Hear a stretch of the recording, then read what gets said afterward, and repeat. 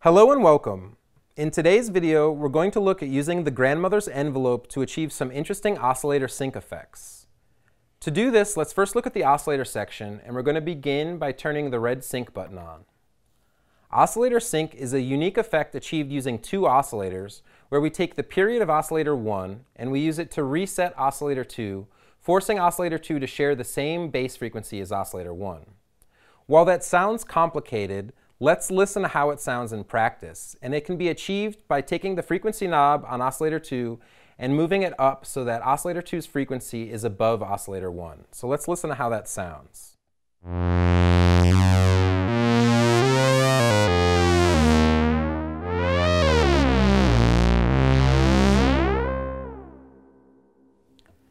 As you can hear, oscillator sync allows us to achieve these wonderful harmonically rich sounds, but I'd like to add a little bit of movement into this patch. So I'm going to do this by patching from the positive envelope output in the envelope section to the pitch in on oscillator 2.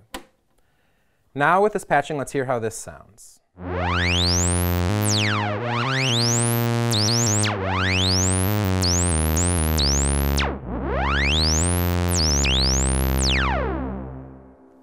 So as you can hear, I've added some movement to the patch, but it's a little bit too dramatic. So what I'm going to do is repatch the envelope output and run it into the attenuator in the utilities section. I'm then going to patch the output of the attenuator back to the pitch input.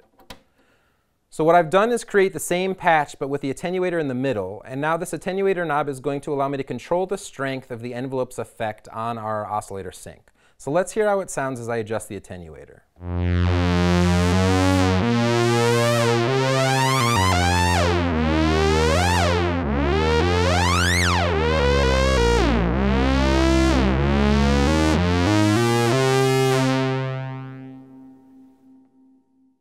As you can hear, adding the attenuator into this patch allows us to have a little bit more control and achieve a more subtle effect.